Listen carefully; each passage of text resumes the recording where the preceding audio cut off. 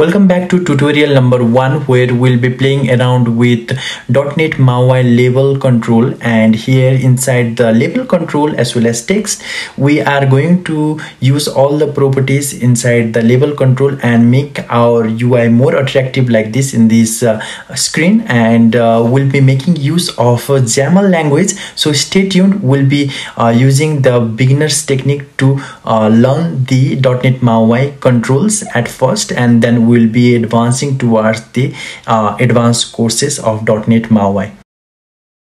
Let's start with Visual Studio 2022. As of now, it's preview for me, but uh, uh, if it becomes stable and supports .NET MAUI, we are going to use Visual Studio 22 stable. And here we are going to search for template MAUI.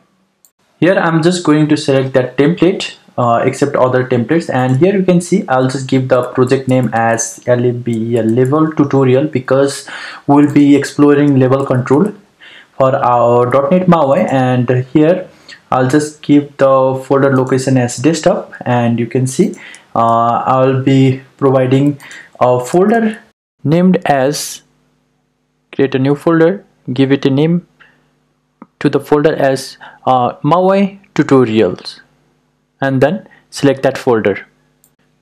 After selecting the folder, we are going to create that .NET MAUI project and we will be playing around with this label control inside our first .NET MAUI project. Here at first we'll be navigated to this UI that is mainpage.xaml where will see lots and lots of codes.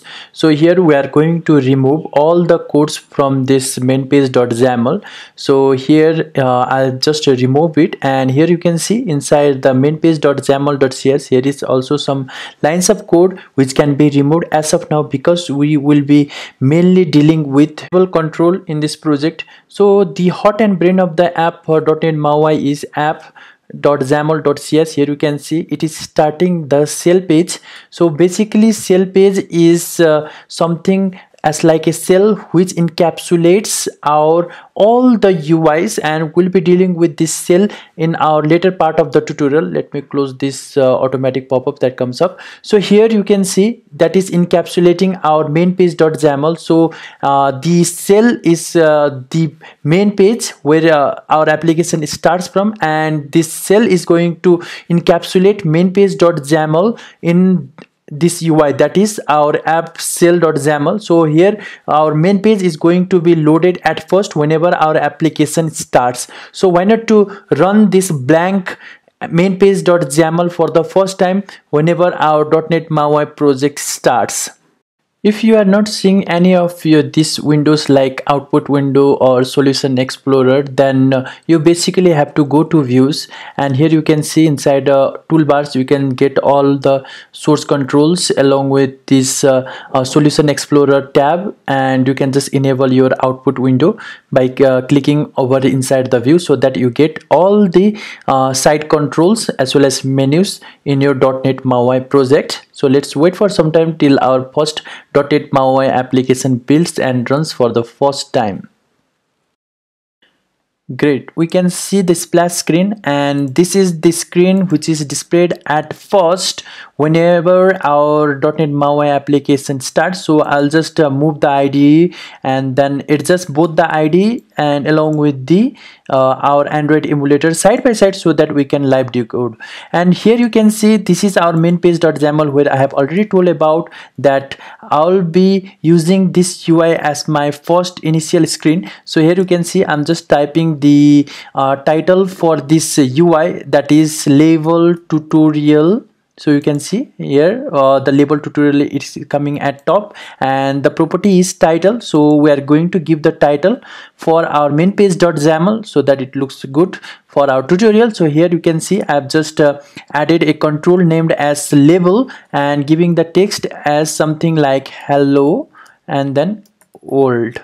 Then exclamation that's all. So here you can see a nice little uh, label is being presented inside the UI of our first .NET MAUI project. That looks good now we are going to play around with different properties for a control that is our label that is our view. So here i'm just going to change the color of my label to red and you can see like the hot reload works for our xaml and we'll get our red color of label.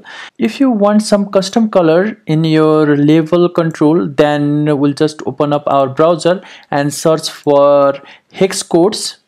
So here i'll just search for hex colors so here uh, it will present me with the any of the url that you would be pre presented. So here you can just copy and paste any type of random colors that you really like. So here i'm just going to take this hex color that starts with hash.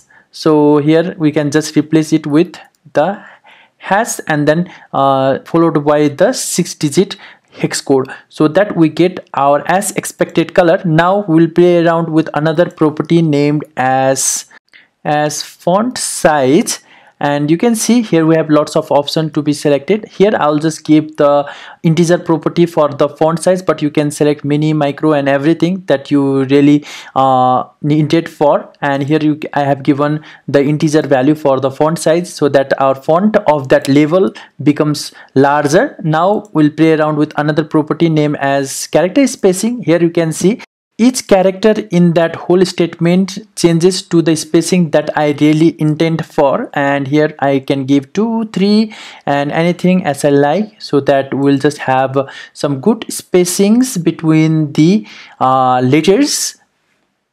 Now it's time for playing around with another uh, label property so i'll just uh, close it. So this is also the way to open as well as close the uh, tags for our label control just like your html if you want to put a space between the hello as well as old and hello goes to above line and old goes to the next line just this line of code that is and has 10 and then a colon is going to let your two text go to the next line to each other. So i'm just going to put the character spacing as zero. And you can see i have given a space over here so that it merges and then uh, uh, gives me as exact output that I really want. So here hello is at top line as well as uh, old is on next line. That's because of this line of code and has uh, 10 and then colon. So this is what we really need to put those two words within that same label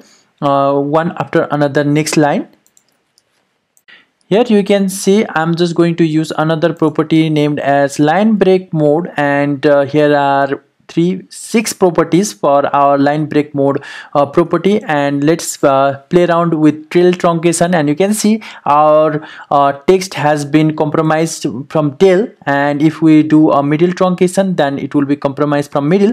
But in order to implement it i'm just going to remove this uh, next line of code that comes up. And along with that we need to put some a uh, little bit of big characters so that uh, it uh, gets filled in the UI so that it gets truncated from middle.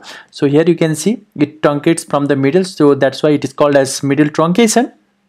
And then uh, we can play around uh, with the uh, character wrap so that it wraps uh, from uh, within that two lines so that uh, our uh, text can't be uh, compromised within that same UI. So that is our head trans truncation. And then no wrap means here it it will just get disqualified as well as compromised within that same UI. Let's put this middle truncation as of now for our text to display let's play around with another property named as text decoration. And here you can see we have three properties non strike through underlined. And you can see we have a very nice text decorated with strike through as well as underline just like our hyperlink. So uh, you can just play around with uh, those property as of your own. So let's let me make it a default as uh, underlined.